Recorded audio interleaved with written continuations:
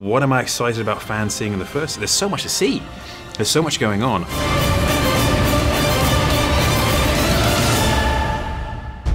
Had a wealth of things to pull from with this show. We've got the games, we've got the, the books. Is there any, are there any specific elements that you really, really wanted to maintain and any that you wanted to just divert from and, and go your own way? Yeah, I mean, we're pulling basically from the books totally, and there's about 3,000 pages of material. So it just started out with like, what is the best way to intro audiences to these characters and to this world?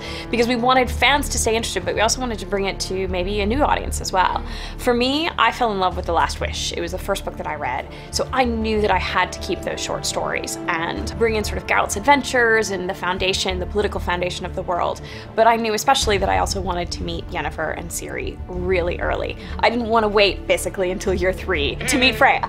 Um, so we brought those characters up and sort of crafted a new story and a new timeline um, so that everyone can be part of the world at the same time, and I think that's really exciting. I thought you'd have fangs or horns or something. I had them filed down. This is not your first time playing someone who's sort of human adjacent, not quite human, Yes. but want to protect humanity. How would you compare Superman and Geralt? Are they maybe more similar than we would think? Firstly, I like that term, human adjacent. I think that's really good. I'm going to use that if I may. Mm-hmm. I think the inner voice to Geralt is very similar to Superman. Some of his actions certainly are as well, but if I were to compare Geralt to a superhero, I would have to say he's more of a blend between Batman and Superman. Mm-hmm. Batman on the exterior, abandoned as a child, trained exceptionally hard, but he also has this human adjacent physicality to him, which is more Superman, but he has the heart of Superman. Mm. He has a belief in a better world, he has belief in the potential goodness of people, but it doesn't necessarily mean that's how he behaves, responds, or how he presents himself. He's definitely broody like Batman.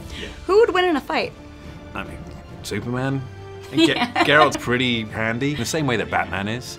If you give him enough planning and prep time, then he may, might be able to beat Superman. Mm. But only because Supes is holding back. I'll take that chance. I'm lost.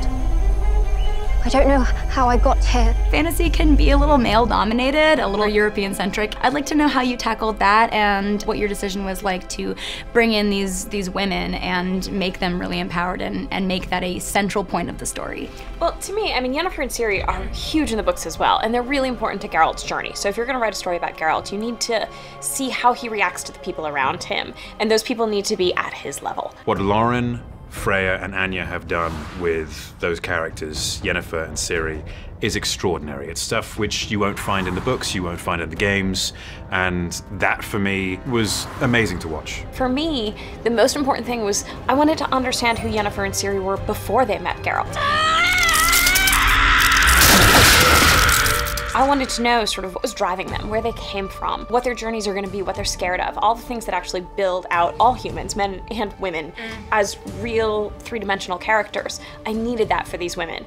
And to me, it makes the storytelling that much more satisfying. When you actually get the three of these characters together, you understand what they're each bringing into the equation and how they impact each other. I'm excited for fans to see Ciri's kind of how much she changes throughout the season and get to see a sort of glimpse into perhaps what she could become in the future. She goes from being very innocent and very naive, and she's got that kind of stubborn feistiness at, the same time and then you see her go very become very vulnerable and go through a lot of suffering and then she, she begins to learn and she begins to adapt and you see her take become a little bit more cold Yennefer goes on a journey from 14 to in her late 70s, and I'm excited for them to see the transformation scene and what her life was like as a child. You know, we all know and love, you know, that, that from the, from the books, which presents this cold exterior, but.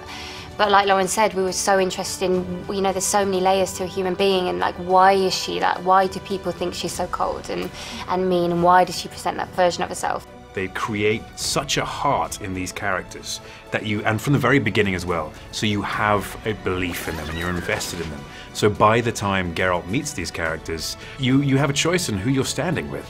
And I think they've done an amazing job in that. I don't want to give anything away too much, really. I think There are there's one scene in episode one which involves some human monsters, which uh, that that's probably one of my favorites. Are we allowed to give uh, how much? Yes. She's like, yes, give everything. I haven't yet seen the and I can't wait to see that. Um, I loved. I can't wait. I see the- yes, I I- so I'm really looking forward to seeing that. All the monsters that I've seen so far have been brilliant. Freya, how about you? Any action or monsters that you're really excited about? Well, I didn't get to meet any monsters and Not yet. do any stunts, so it's a pretty boring answer, really. I, ran uh, a lot. okay, You ran a lot. I ran a lot and I went on a horse like a couple of times. Let's talk actually a little bit about the horse. Don't judge me. in talking to Henry, who is a horse person, it was really important to get the bond correct. So Henry went out to the stables and rode a bunch of horses and fell in love with Roach. Um, unfortunately for us, Roach was a male horse. Um, so uh, there's a lot of clever things that we have to do on screen to make sure that Roach is in fact a female horse, which she is in the books. Not a hard choice. What is, is there like a keying out aspect? yes, yes. Movie Framing magic. out. know that. Oh yeah, no. Wow. Yeah. The, the level of dedication. I love it.